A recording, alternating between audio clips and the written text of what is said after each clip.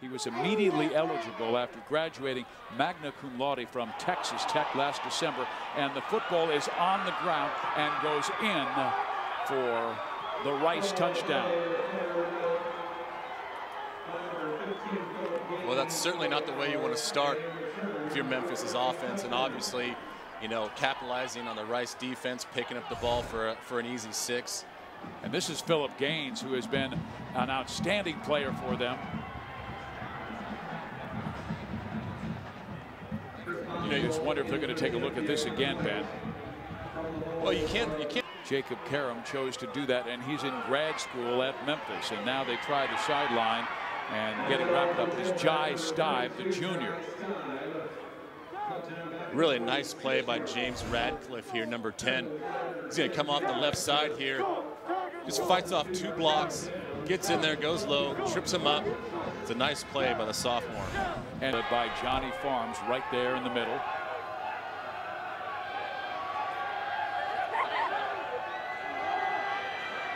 Try the ground again, and Ross breaks free for a long game, but there is a flag down on the field. Ross will get the first down, so let's see if it is a hold because it certainly was in that vicinity.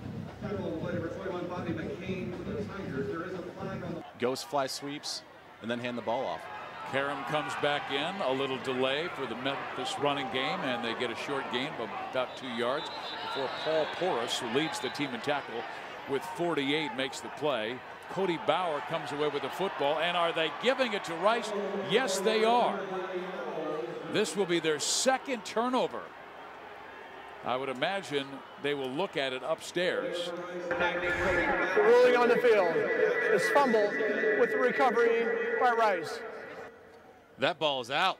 That ball is out. Good job by Cody Bauer having the, the awareness and the presence to see that ball and try to go with it. And so I wanted to see the big man run. I was I was kind of I was kind of hoping he didn't get tackled. Well, that is a shame for the Memphis Tigers. I mean, they have really.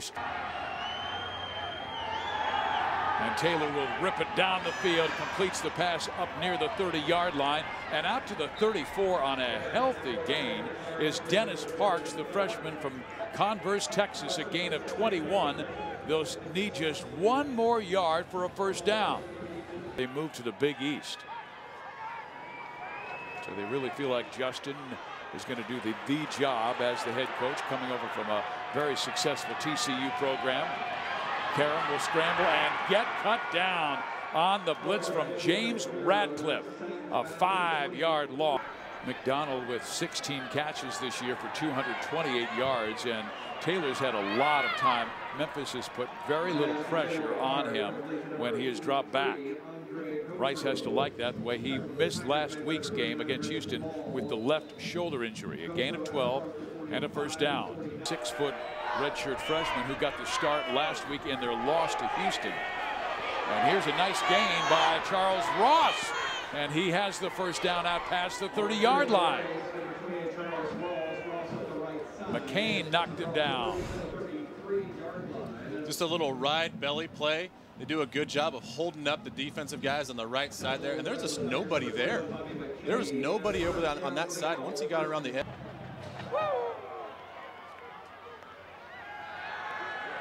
Karam in trouble, and the blitz will knock him down.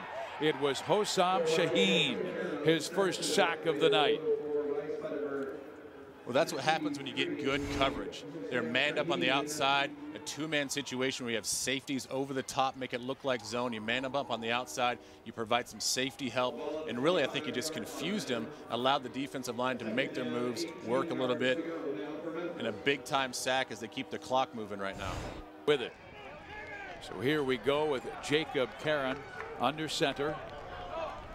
And Karam will hand that football off and not much of anything by Jai Stive. This is now the quarterback. And a slip by the running back. Once again, we go back to that uh, situation we talked about. They need to come away with points. They can't just be.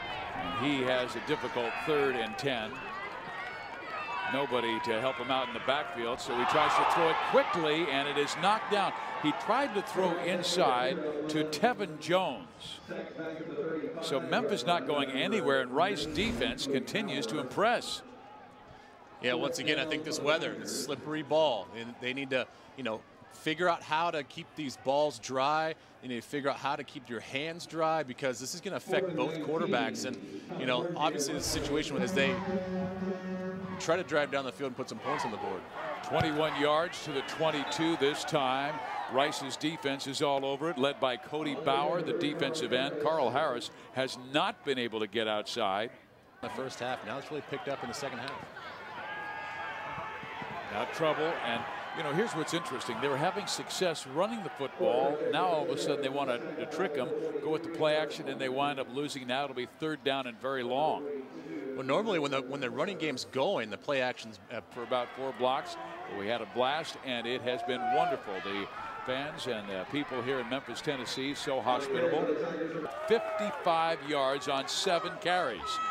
And they'll try the middle. This time Harris They've gone away from Stive and Cook and more with Harris and Hayes in the second half. And those guys are hitting that offensive line awfully quickly.